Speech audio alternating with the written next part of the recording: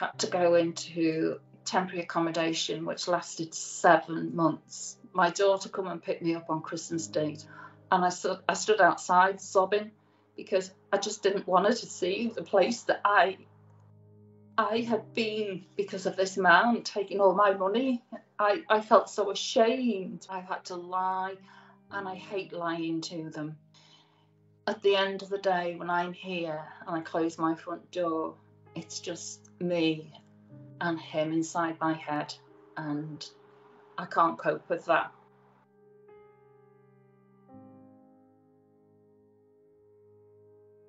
What's up, Seekers, and welcome back to another episode of Scamfish presented by SocialCatfish.com. On today's episode, we speak to a woman named Anne who fell in love with a man on Facebook Messenger. The two formed a relationship and were even engaged. Anne is having serious doubts about her fiance Michael being who he claims to be. She has borrowed money from her close friends and family and has sent Michael over $50,000 to get him out of the terrible situation he claims to be in. Let's see if we can get to the bottom of this. Real quick, guys, don't forget to like, comment, and subscribe. Your comment and like could help stop someone from being scammed. Let's get into it. Hi, Social Catfish. My name is Anne Whitehall. I'm 63 years of age. All my other children are all grown up now. And my youngest, she'd left home to go live with a boyfriend. So there was just me and the dog, and there's only much you can tell the dog. I was doing 11 hour shifts in the kitchen as a, a head chef. It was like being on a hamster wheel. You got up at six, you went to work at seven, and you came home at half past seven of a night. And just coming into an empty, dark house, it's just a horrible, lonely place to be in. I didn't even eat. I didn't even go in my living room for about three months because I was just so tired and fed up. And then I came home one night and my Instagram, this person popped up. It just seemed to come at a right time of my life. This message started everything. After going through two divorces and now living on her own, the thought of having someone to talk to was a breath of fresh air for Anne. Michael would text her all day, before, during, and after work good morning and good night text. He was always there to talk. He was quite, it's a lonely life out here. I wondered if you would message me. I was quite off at the time because that's what us English people are like, I suppose. I just said, if I have time, I'm a very busy lady, which is true.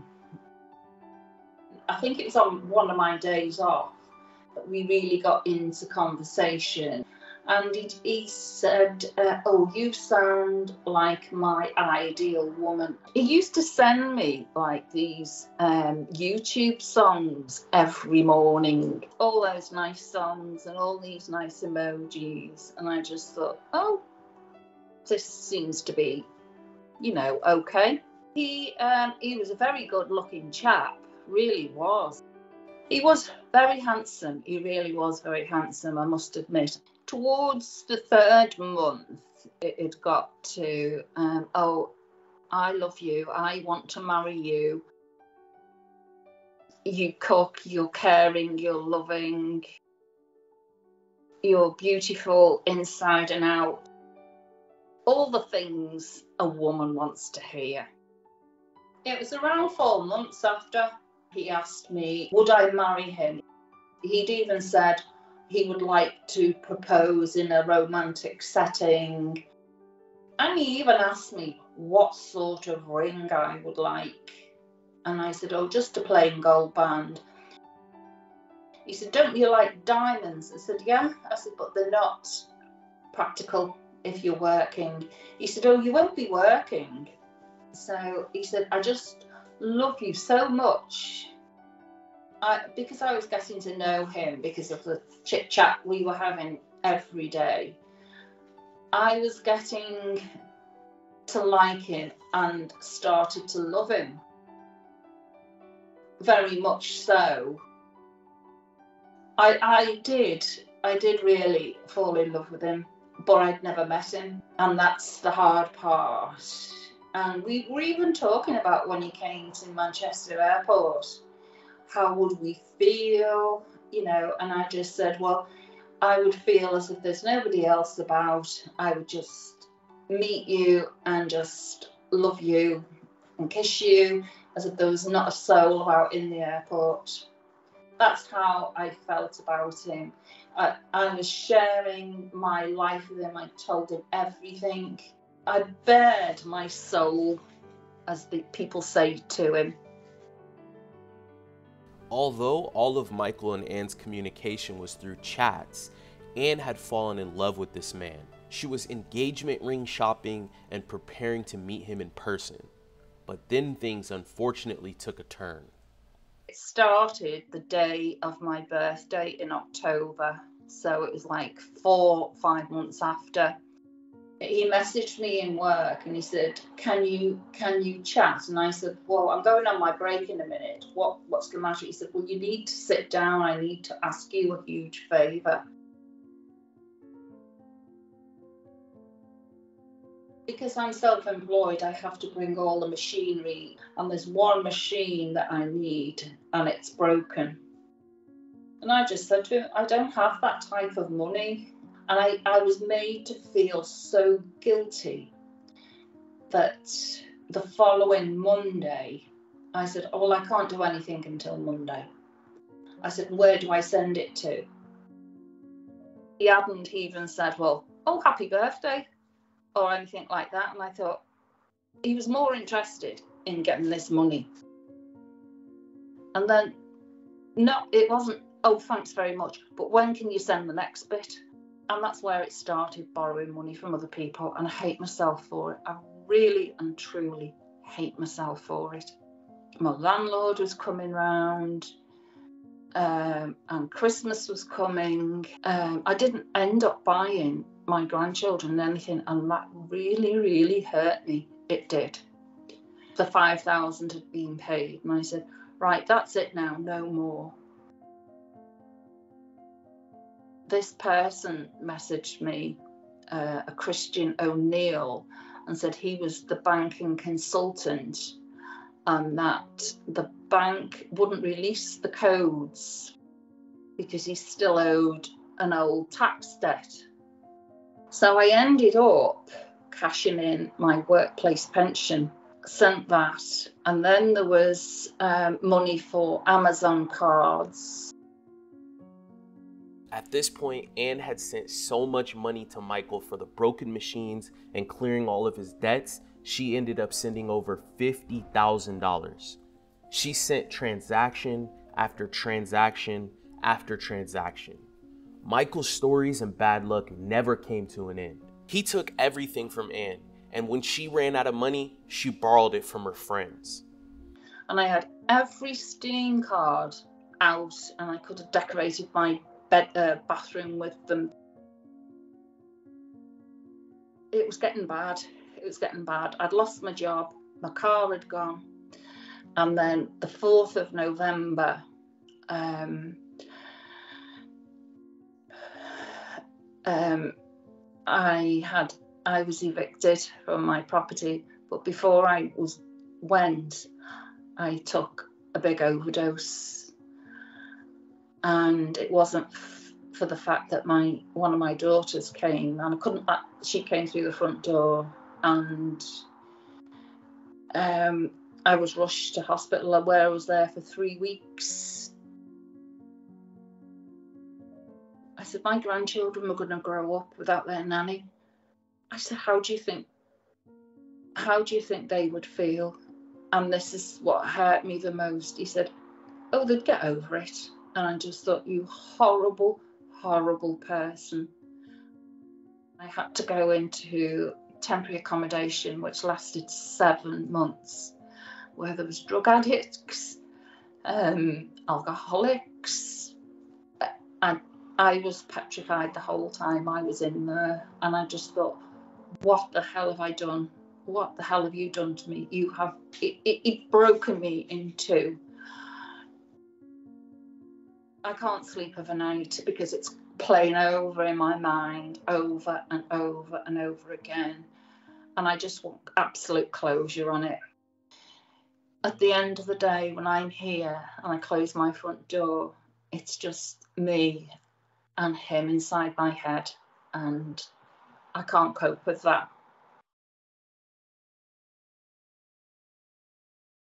Okay, Seekers, we had our work cut out for us.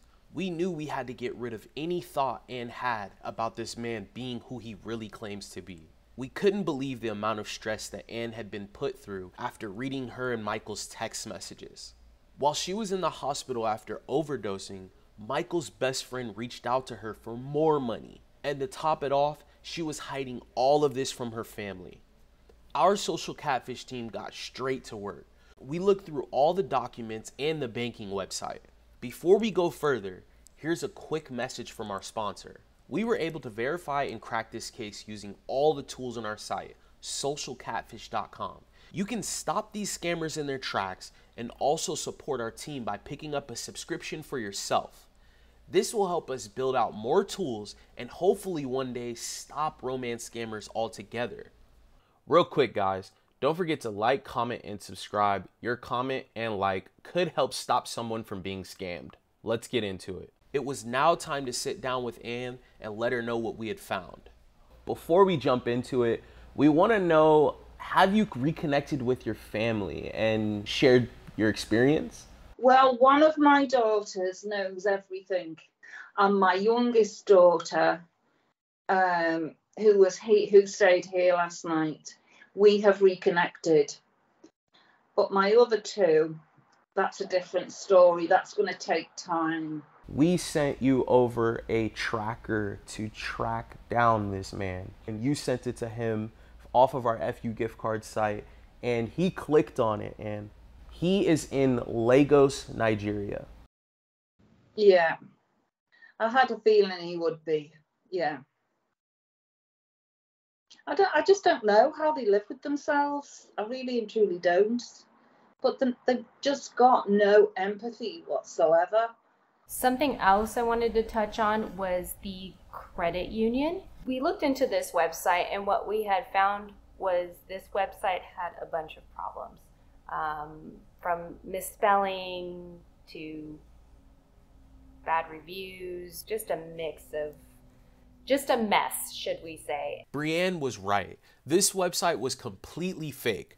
We Googled the address listed on the bank's website and it was not a valid address. Now it was time to run the phone numbers, also listed on the website. We use phone verification software to verify phone numbers along with a fraud score system from zero, unlikely fraud, to 100, high risk and likely fraud. We researched the phone number through this system and found that this particular number scored a 90, which means this is a high risk number and is most likely being used for fraud. The last thing we did was check the Whois history on the site. We were able to find that this website was created on April 5th, 2022. What this means is this new bank was created this year and does not reflect the same information on the website. Remember this guy Christian who claimed he worked for the bank? He was also a fraud. His name and photo was stolen. This is a common tactic used by scammers. We've seen this in a lot of our previous episodes and logged into the bank account that looks something like this. The scammer pretends to have tons of money and tells the victim that he will pay her back, not knowing that the website was only created to make them feel comfortable with lending the scammer money. So, Anne, think of it in a sense that the role that you're playing in this situation. You don't know mm-hmm. these people, but you're moving the money for Michael. That's the upsetting part of it mm-hmm. because it's money that you know I worked hard for.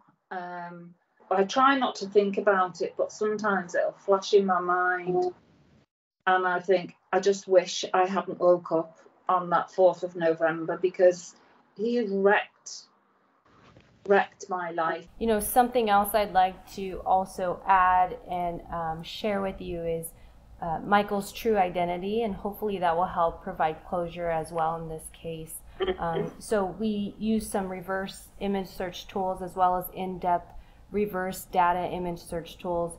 And what we were able to find was Michael's true identity. And so the real person in the image is known as um, Remco. The man in the photos is completely innocent. His likeness was stolen to dupe Anne out of money. The profile on the right side is the Instagram that Anne was in contact with, claiming his name was Michael. The profile on the left is the real man's profile. He has his own life, and we were able to find his Twitter page and his Facebook. Uh, I still feel a bit stupid for doing it, but you know, you you learn your lesson, and having my daughter back, my youngest one back, means more to me than anything. You know, she's worth more than all the money that I sent. You know, um, my children are. So time will tell, and the others will come back as well. So I'm I'm okay. I'm okay. Yeah, and I'm you know I'll read through the information that you send me. Um, and it'll be closure for my daughter, my eldest daughter, because she has been my rock through all of this. She really and truly has. And without her, I just couldn't have done it and watching your channel has really given me hope and strength and I can't thank you all enough for your help. Um, I really do appreciate each and every one of you and it's nice to talk to you. I won't let him beat me whatsoever. You know, uh, I wasn't going to give up on this. I wanted to do it um, for myself and for other people as well. Just don't get involved. Thanks for watching another episode of Scamfish, everyone. Remember, new videos go out every Wednesday. If you or anyone else you know might be going through a scam, please send an email to share my story at socialcatfish.com. See you guys next week.